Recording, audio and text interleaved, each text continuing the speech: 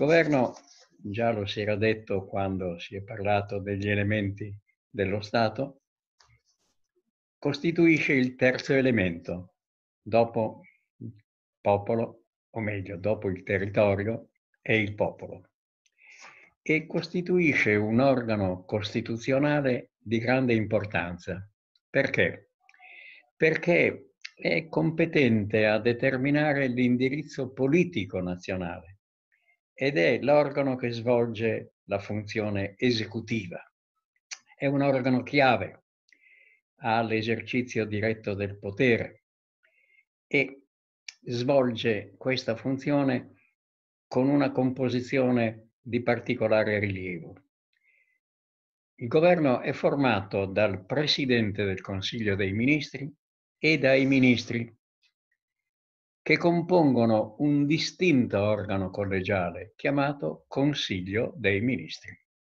L'articolo 92 della Costituzione conferma questa singolare tripartizione.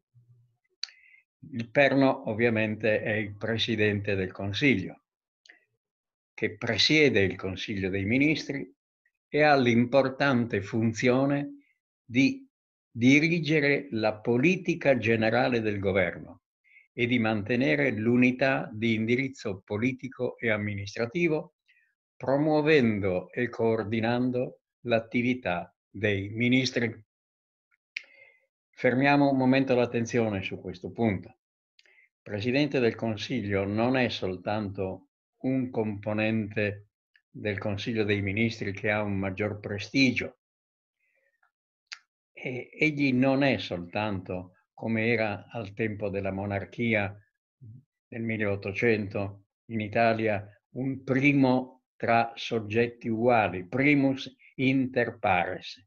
E neppure il Presidente del Consiglio è, come al tempo fascista, primo ministro e capo del governo.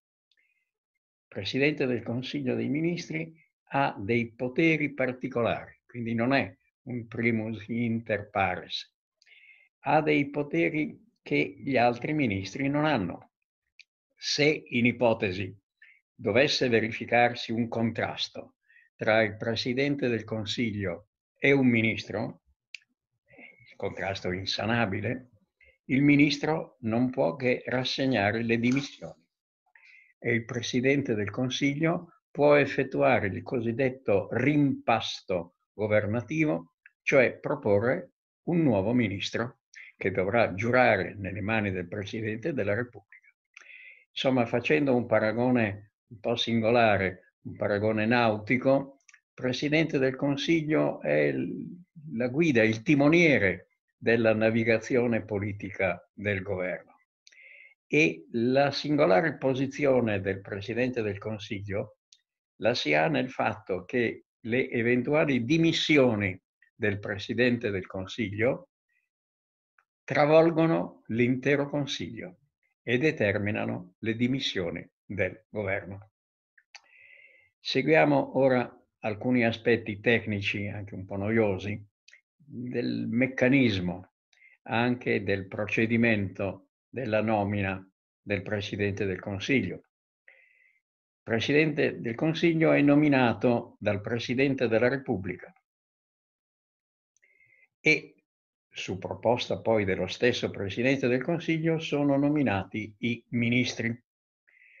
Aggiungasi che il Presidente del Consiglio presiede vari comitati, nomina i commissari straordinari, controfirma gli atti di rilievo normativo del Presidente della Repubblica e ha la possibilità di attribuire a uno o più ministri le funzioni di vicepresidente del Consiglio.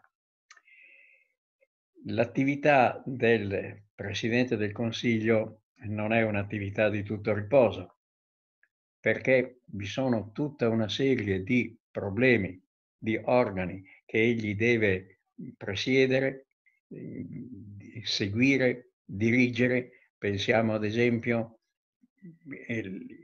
alla parte che egli ha nel CESIS, Comitato Esecutivo per i Servizi di Informazione e di Sicurezza, Comitato Interministeriale per le Informazioni e la Sicurezza ancora.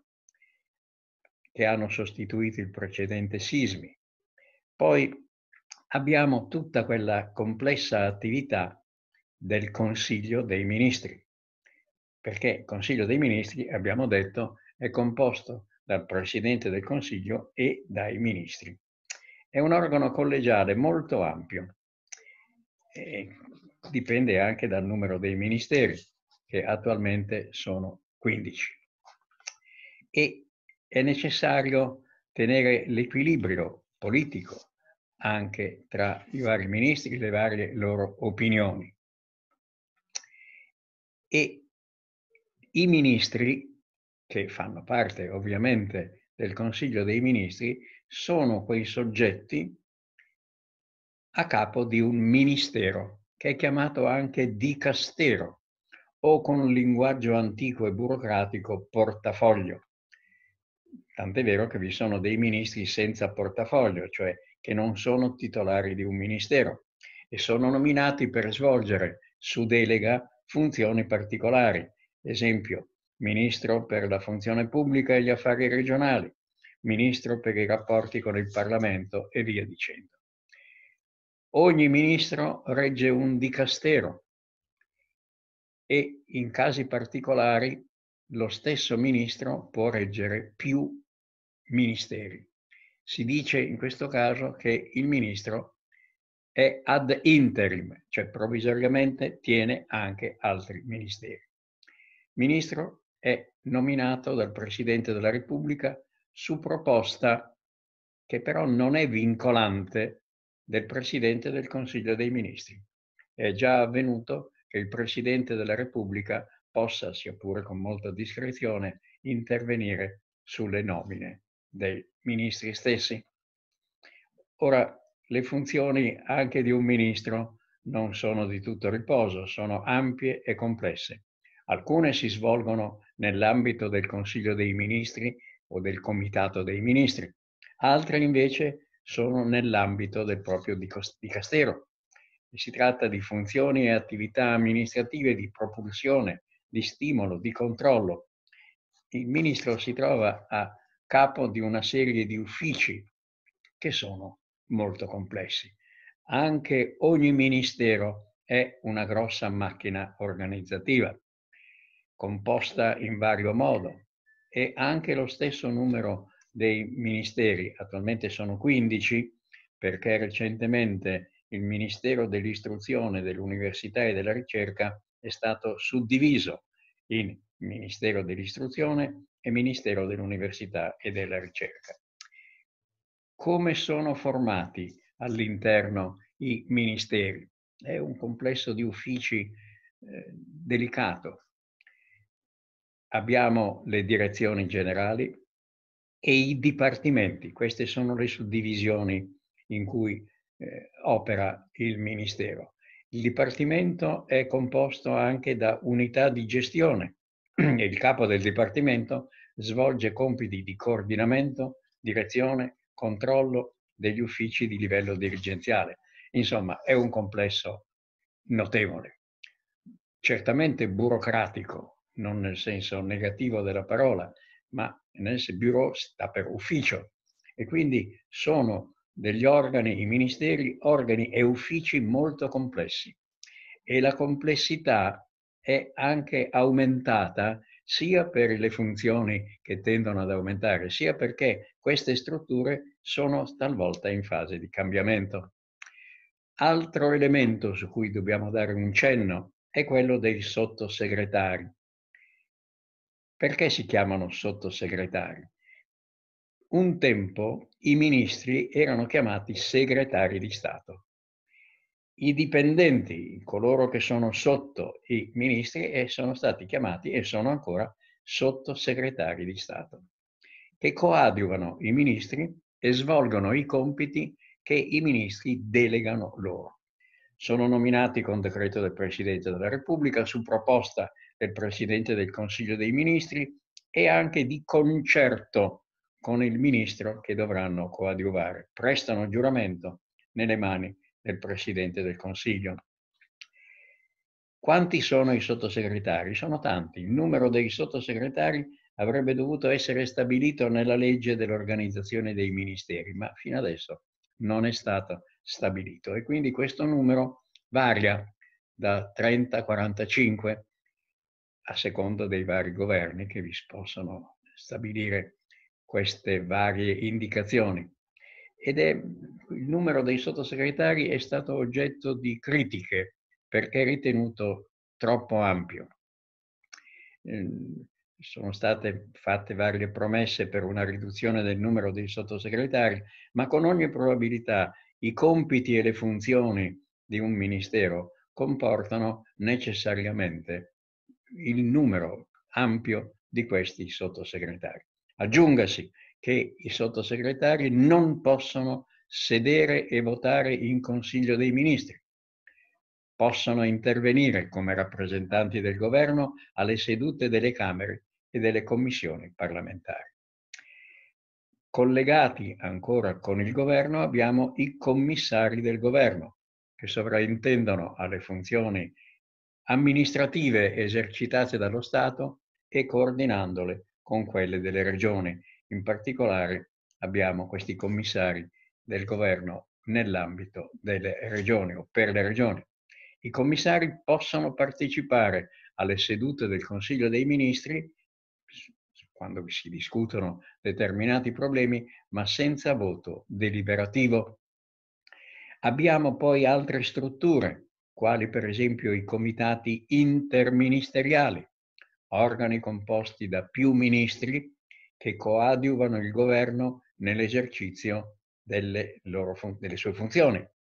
Sono costituiti con legge, sono composti dai soli ministri interessati e sono presieduti dal Presidente del Consiglio. Ricordiamo tra questi comitati il CIPE, Comitato Interministeriale per la Programmazione Economica, il Comitato Interministeriale per il Credito ed il Risparmio. E anche questa è una necessità che ogni tanto alcuni di questi organi siano composti assieme per lo svolgimento di funzioni particolari. Abbiamo poi anche il cosiddetto Consiglio di Gabinetto, che coadiuva il Presidente del Consiglio ed è composto dai ministri da lui nominati. È una forma più veloce, più rapida per mandare avanti tutta una serie di problemi amministrativi, perché, come abbiamo visto, il numero dei ministri è, è ampio e a volte le stesse riunioni del Consiglio dei Ministri Ehm, presentano anche delle difficoltà di coordinamento. Il Consiglio di Gabinetto è uno strumento più agile, più rapido per lo svolgimento di determinate funzioni. Qualche indicazione sulla formazione del governo. Ehm, il perno è sempre il Presidente della Repubblica che conferisce l'incarico di formare il governo ad una personalità politica, anche non parlamentare, che si ritiene possa ottenere il consenso da parte delle Camere. Il Presidente della Repubblica, prima di affidare l'incarico, consulta vari esponenti politici. È una prassi parlamentare che si consultano gli ex presidenti della Repubblica, i presidenti delle Camere, i presidenti dei gruppi parlamentari, insomma per avere un'indicazione del soggetto, della persona che poi otterrà la fiducia del, delle Camere. Il governo entra nel pieno delle sue funzioni dopo che il nuovo Presidente del Consiglio dei Ministri e ogni ministro ha giurato fedeltà alla Repubblica davanti al Presidente della Repubblica. Entro dieci giorni dalla nomina, il governo deve presentarsi alle Camere, articolo 94 della Costituzione, le quali su mozione cosiddetta di fiducia, presentata da uno o più parlamentari, accorda la fiducia. Punto importante, la fiducia deve essere votata con voto palese, quindi espresso, chiaro, e con appello nominale. Questo perché anche da parte di tutti i consociati si sappia esattamente chi, come e quando ha votato. Il governo dura in carica finché ha la fiducia di entrambe le Camere. Può essere sfiduciato quando vi è una mozione di sfiducia che sia poi approvata anche da parte di una Camera. Questa mozione di sfiducia deve essere presentata da almeno un decimo dei componenti di una o dell'altra Camera e c'è un momento temporale importante per evitare delle votazioni provocate all'improvviso, ad esempio quando molti componenti della maggioranza sono assenti, la mozione non può essere votata prima di tre giorni dalla presentazione. Mm, questa è una garanzia che è stata data, però si è visto che per la maggior parte dei casi, quando ci sono state delle crisi di governo, sono state delle crisi extraparlamentari e queste crisi sono avvenute per decisione delle segreterie dei partiti politici. E questo è un punto importante che fa vedere anche il rilievo che hanno queste associazioni politiche nella politica del governo e nella sussistenza stessa, nella sopravvivenza del governo stesso. La funzione di indirizzo politico, come abbiamo visto, spetta al governo, il quale governo però ha tutta una serie di funzioni amministrative che sono di grande rilievo e importanza. Io ho svolto il paragone del governo, di, dei ministeri e di tutto questo come una grossa macchina organizzativa. È proprio così. Vi è un, un complesso di uffici, di legami anche e di competenze tra i vari uffici, ma mettere in movimento l'attività amministrativa, siamo in sede centrale, con tutte le conseguenze che vi potranno essere poi in riferimento alle regioni e anche agli enti locali, fa vedere un, tutto un complesso di mh, problemi, di meccanismi e anche di spinte politiche e di controspinte.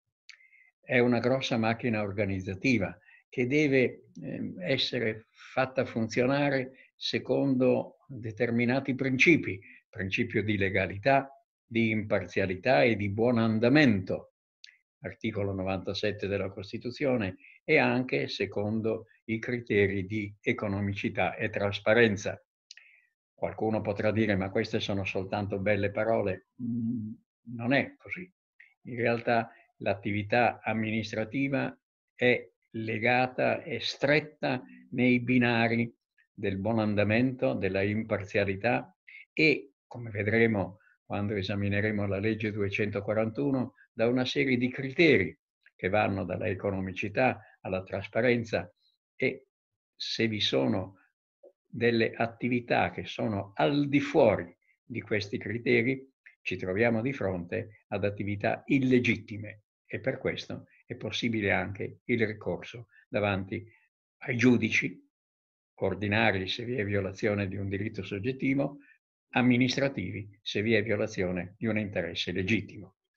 Un'ultima considerazione sulla responsabilità dei ministri. I ministri, quando agiscono nell'esercizio delle loro funzioni, hanno la responsabilità politica, innanzitutto. Sono responsabili sia per gli atti propri, ma attenzione, anche per quegli atti del Presidente della Repubblica che essi hanno controfirmato. Quindi c'è questo aspetto anche di particolare rilievo. Per quanto riguarda la responsabilità civile, pensiamo all'articolo 2043 del Codice Civile, la posizione dei ministri non differisce quella di qualunque altro funzionario. Pensiamo all'articolo 28 della Costituzione. E per quanto riguarda la responsabilità penale, i ministri possono essere chiamati a rispondere per i reati commessi nell'esercizio delle loro funzioni anche davanti al giudice penale ordinario, previa autorizzazione parlamentare, articolo 96 della Costituzione. Infine, quando agiscono come privati, i ministri sono responsabili civilmente e penalmente come qualsiasi cittadino.